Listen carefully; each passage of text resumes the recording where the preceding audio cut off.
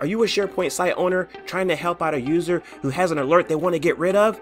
Well, I'm going to show you how to do it. Just stick around. I'm a SharePoint expert, play with data extra. Careful with my hands, cause I gotta use them for work. Yeah, I'm a big old nerd. I like maple syrup on my pancakes. I don't care what you heard. Okay, let's get that timer rolling.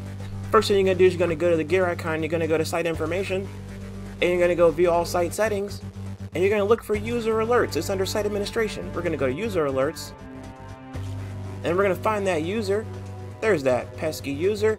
We're going to update this, and then we can see these are all the alerts for that user. We can select it, and we can click on delete selected alerts. We say okay, and then ba-bam, it's gone. You did it. All right, so let's slow it down a little bit and let's talk about alerts a little bit in general.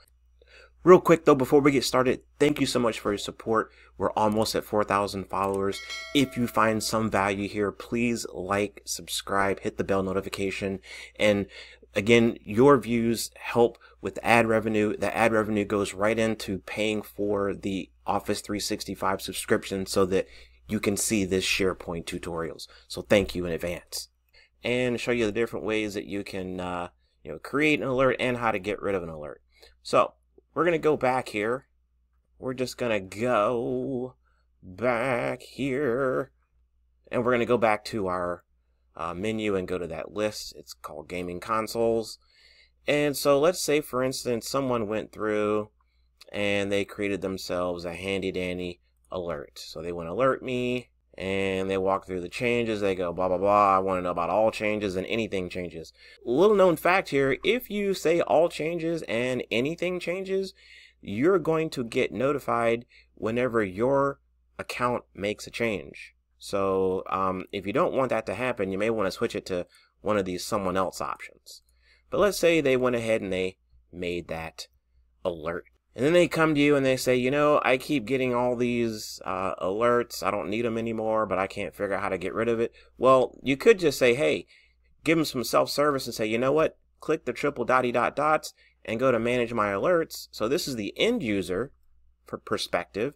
They can select it and then delete it. Okay. Uh, but if maybe time is short, uh, they couldn't be bothered with it, so then you do it for them. In that case, you're going to just go to the site uh, where the alert lives, and you're going to click on your gear icon, and we go to site information. We'll have to bypass this actual screen, go to view all site settings, and then we're going to look in the site admin area here, and this is where you can see all the user alerts that exist on this site. Now we can select what user we're looking for. Click on update. There's the alert. You select it. Delete selected alerts, hit OK, and you are good to go. So there you go. There's a couple of ways you can access the alerts and get rid of them if you need to. Hopefully this helps you. If you found something you like, please like, share, subscribe. It really helps out the channel. And remember, do the best you can with what you got. SharePoint rocks, and so do you. We'll see you next time. I'm a SharePoint expert, play with data extra. Careful with my hands, cause I gotta use them